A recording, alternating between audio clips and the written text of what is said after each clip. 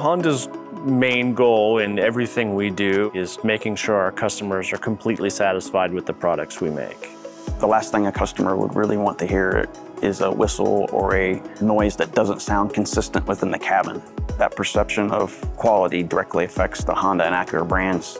In 2016, Honda decided the idea to build a full-scale wind tunnel that was the best in the world in terms of aeroacoustic and aerodynamics. Prior to this facility, we rented wind tunnels all around the world. We had associates traveling two weeks of every month for eight months on end, doing acoustics in one part of the world, aerodynamics in a different, and racing in a different yet.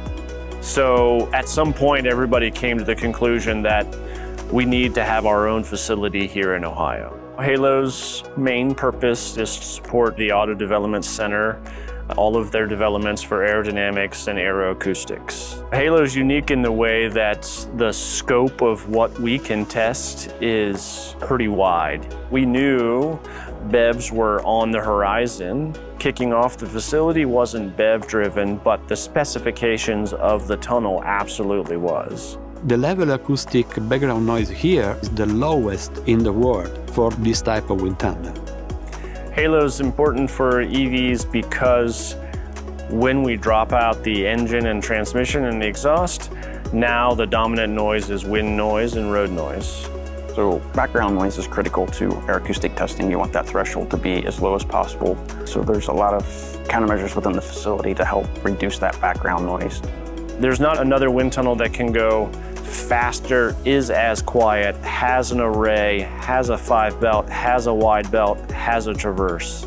So in terms of scope and breadth of the facility, this tunnel is pretty much unmatched.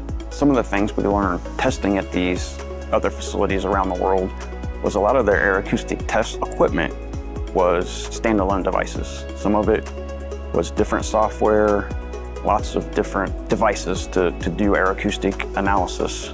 Trying to build your story from that is complicated, right? Because you have three different softwares and it, it would take you three days to summarize it rather than an hour. So one thing we really focused on when building this facility was to make sure our aeroacoustic test system was all combined into one system.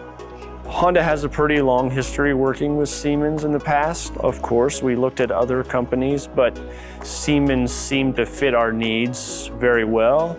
And through lots of discussions about specs, at the end of the day, uh, Siemens was able to deliver uh, equipment that met our needs and our expectations, and it was a natural fit. One of the great things about working with Siemens is their service. When we met with the Siemens team, they understood the wind tunnel testing. They had a lot of wind tunnel test background or experience. Understanding that process goes a long ways in designing the equipment. We use Simcenter Testlab software to operate all of our aeroacoustic test tools. With our Siemens system here, we have the external arrays and an interior array that we can use to quickly diagnose any problems, almost real time.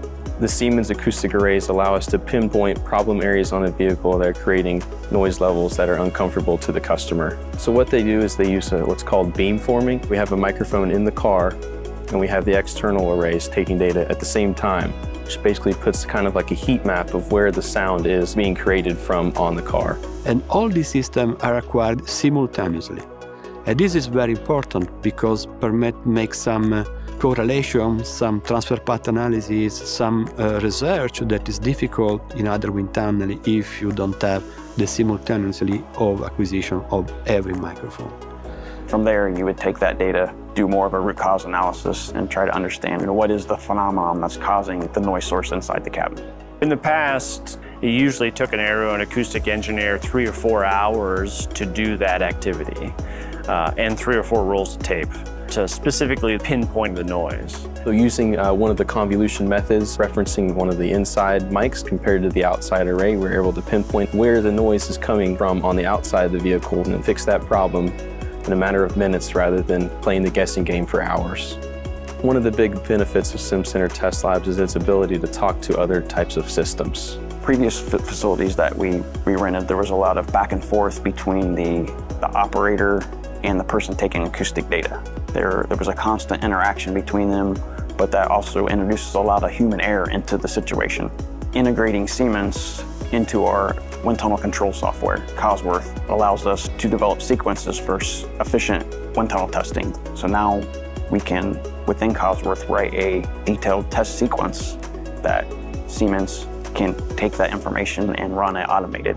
So there's no interaction between the operator and the acoustic system. It's all integrated and the sequence runs and it's finished. Aeroacoustics are directly influenced by the customer's perception of, of quality and comfort. It's important that we have this facility and this equipment to help us quickly address those noise sources and what the path is, how to fix them, how to countermeasure them, and make the product better for our customer. Customer satisfaction. That is what drives us, and that's what makes all of our decisions come together.